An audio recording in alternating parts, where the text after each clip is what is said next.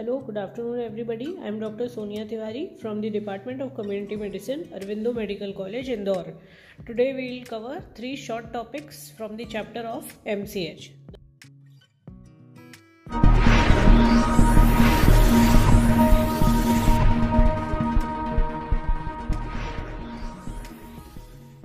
The first among them is the delivery of the MCH services.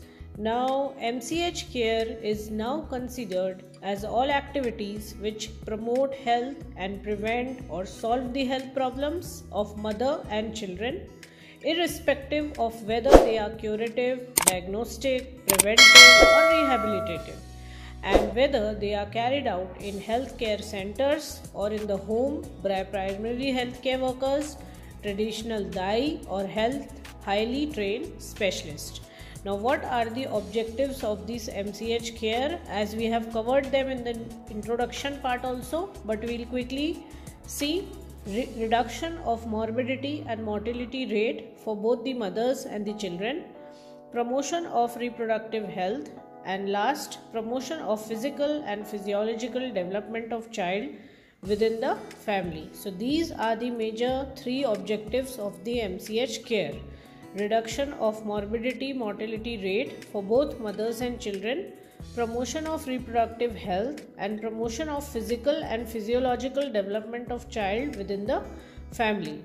Now, what are the components of the MCH care? ठीक है components भी हमें पता होना चाहिए तो maternal health family planning child health school health handicap child care of children in the special settings such as the daycare center. So these are the important components of the mch care.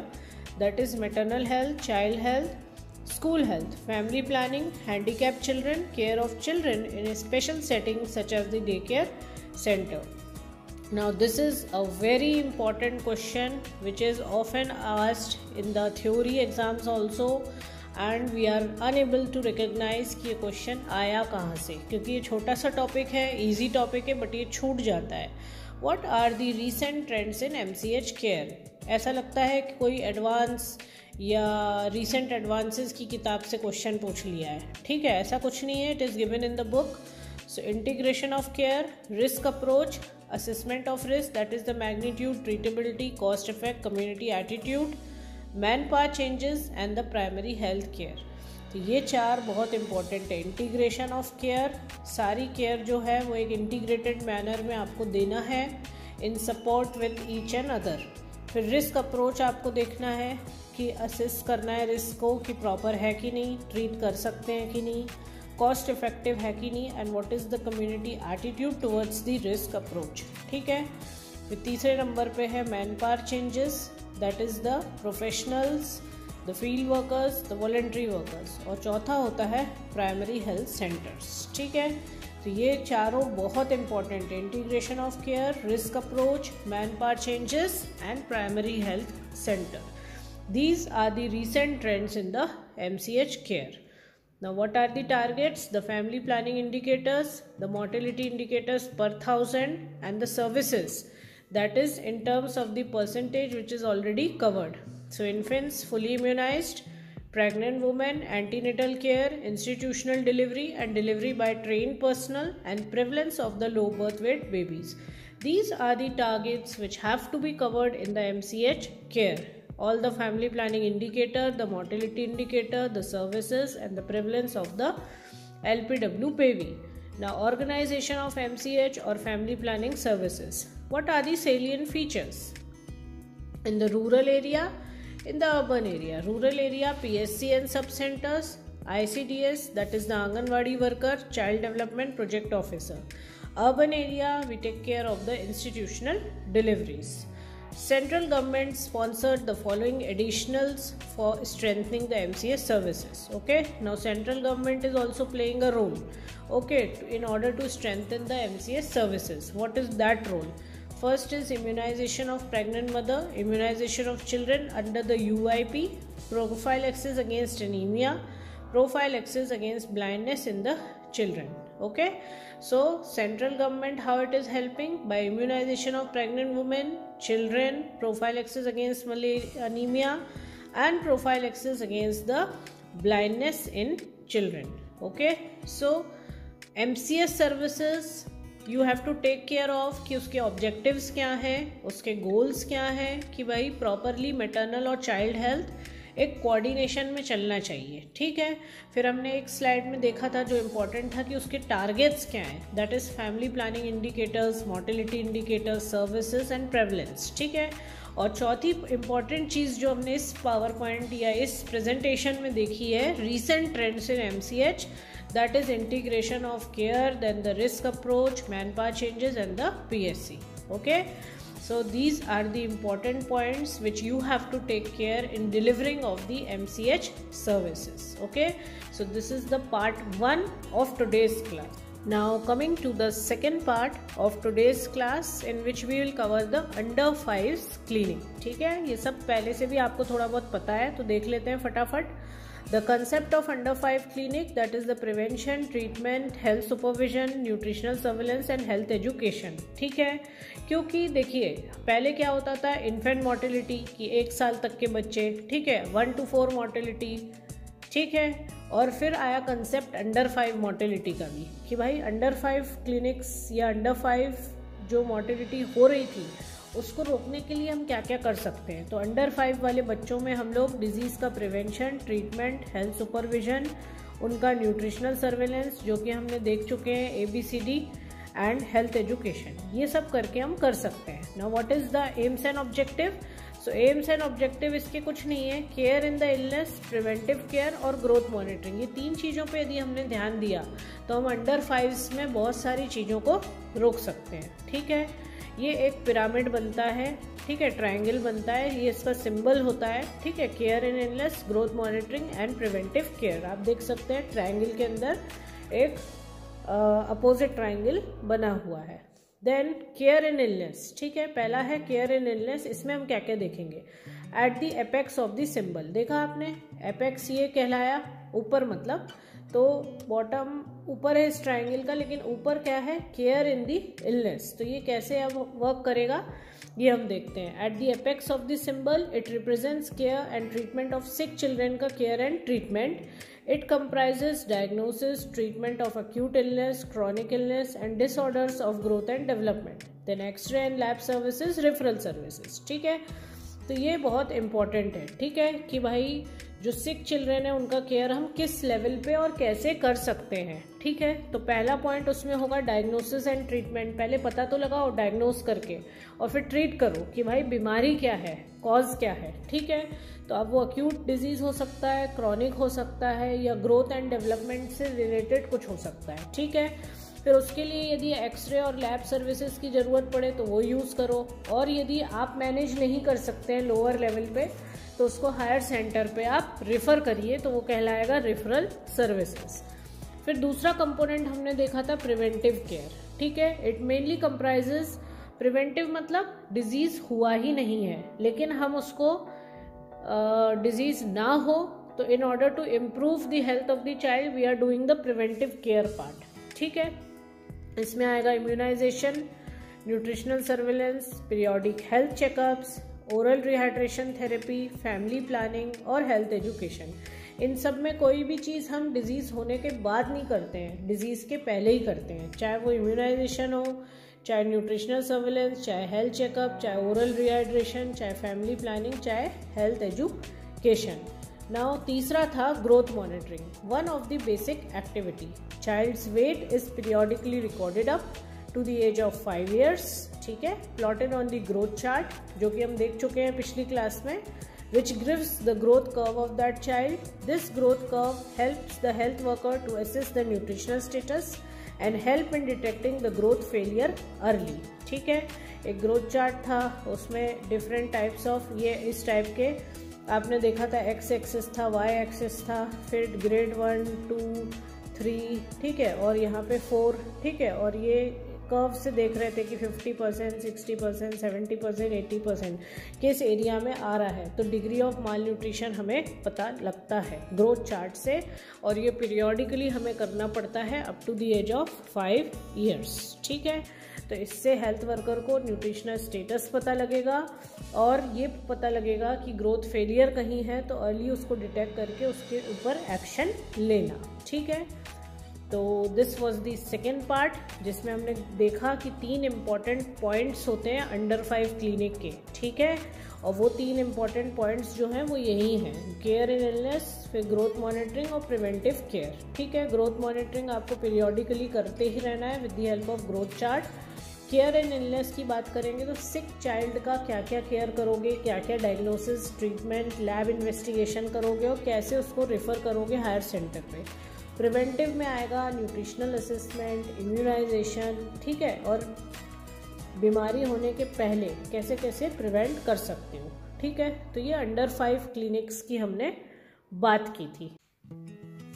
Now going with the third part of this class that is the baby friendly hospital initiatives. Okay.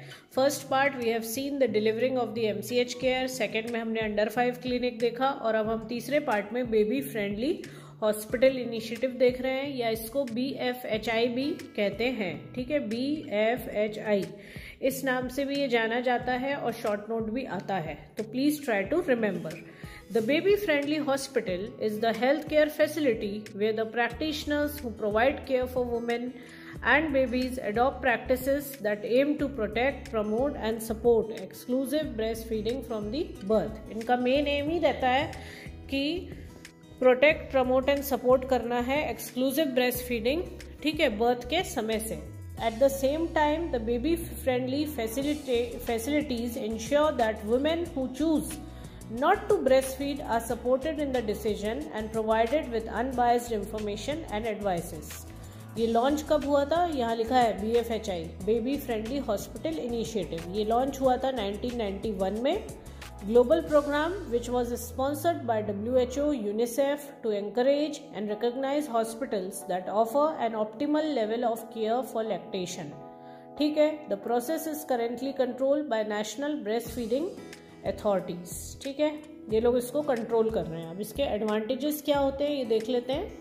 पहला है breast feeding यदि होगी और उसको हम ज़्यादा से ज़्यादा प्रमोट करेंगे सपोर्ट करेंगे तो कंप्लीट न्यूट्रिशन मिलेगा।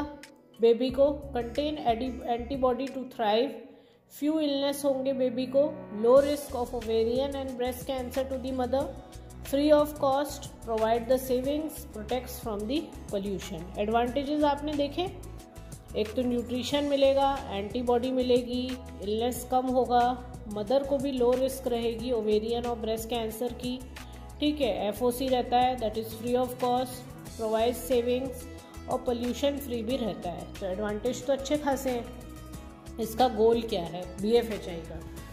तो to transform Uh, facilities providing maternity services and care for newborn infants through implementation of 10 steps to successful breastfeeding. To end the practice of distribution of free and low cost supplies of breast milk substitutes to hospital and healthcare facilities. Now what are the 10 steps? okay? for the achievement. Have a written breastfeed policy that is routinely communicated to the healthcare staff. दूसरा है train all the healthcare staff in skills necessary to implement the policy. Inform all pregnant women about the benefit and management of breastfeeding. Help Mothers initiate breastfeeding within half an hour of delivery or birth. Show mothers how to breastfeed, how to maintain lactation, even if they should be separated from their infants. ठीक है फिर give newborn infants no food no drink other than the breast milk practice rooming in ठीक है? Encourage breastfeeding on demand give no artificial feeds and foster the establishment of breastfeeding support groups and refer the mother to them on the discharge from the hospital ठीक है? तो बहुत important है, एक written policy होना चाहिए। सारे staff को ट्रेन करना है प्रेग्नेंट वुमेन को इन्फॉर्म करना है। मदर्स को हेल्प करना है, इनिशिएट ब्रेस्ट फीडिंग आधे घंटे के अंदर, आफ्टर डिलीवरी फिर शो करना है मदर्स को कि मेंटेन कैसे करना है लेक्टेशन ठीक है? Okay then give newborn infants को कोई फ़ूड या ड्रिंक नहीं देना है other than the breast milk rooming in practice करना है मतलब मदर्स का जो बेड और बेबी का जो है, झूला वगैरह, उसको आसपास रख के उनको बॉन्डिंग के लिए रूमिंग इन प्रैक्टिस करना है एंकरेज करना है breast feeding on demand artificial कोई फ़ूड नहीं देना है, यहाँ भी लिखा है ऊपर and foster the establishment of breastfeeding support groups and refer mother to them on discharge from hospital purpose क्या है? To actively protect promote encourage and support breastfeeding through education of health care worker in the maternity and neonatal services to accredit hospitals that demonstrate that they meet the UNICEF WHO as a baby friendly hospital. ठीक है? Staged approach to baby friendly ठीक है? Stage approach क्या है? Registration कराना है of intent health care providers should register the intention of working towards baby friendly hospital accreditation with the UNICEF Action planning visit. A UNICEF assessor visits to assess the facility to plan how they are going to achieve the accreditation मतलब inspection होगा certificate of commitment मिलेगा the first award given when there is a breastfeeding policy an action plan and sign commitment from the senior staff stage 1 assessment assesses the mechanism that have been developed to enable the standards to be implemented and maintained Stage two assessment staff knowledge and skills are assessed stage three में the care provider to pregnant women and new mother is assessed full accreditation this last for two years after which are reassessment of all the standard is carried out over a three day period ठीक है? तो ये सब चीज़ें जो है, हमने यहाँ पे देखी। ये अपने आप में बहुत इम्पोर्टेंट है। ठीक है?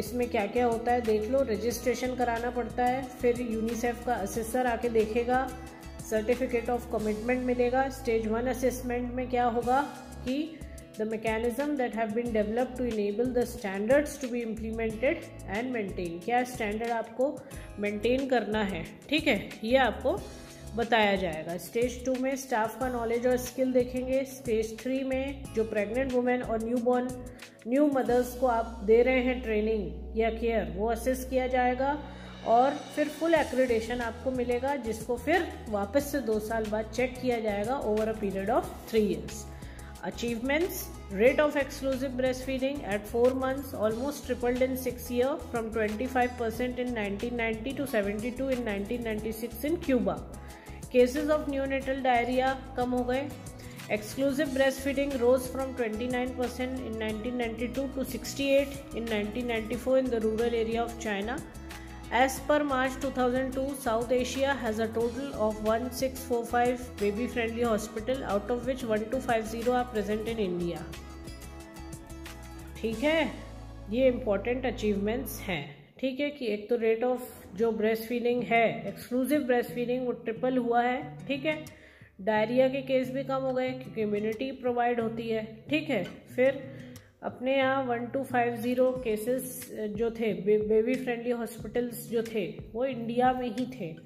अब तो और बढ़ गए होंगे। ठीक है latest data is not included okay so you can just go through the latest data and you can find out that what is the latest data ठीक है? तो आज की क्लास में हमने तीन इंपॉर्टेंट टॉपिक्स कवर किए हैं that is delivering of the M C H care under five clinics और बेबी फ्रेंडली हॉस्पिटल इनिशिएटिव्स एक बार आप इसको पढ़ लेना, कोई भी डाउट होता है तो you can always ask questions okay thank you have a nice day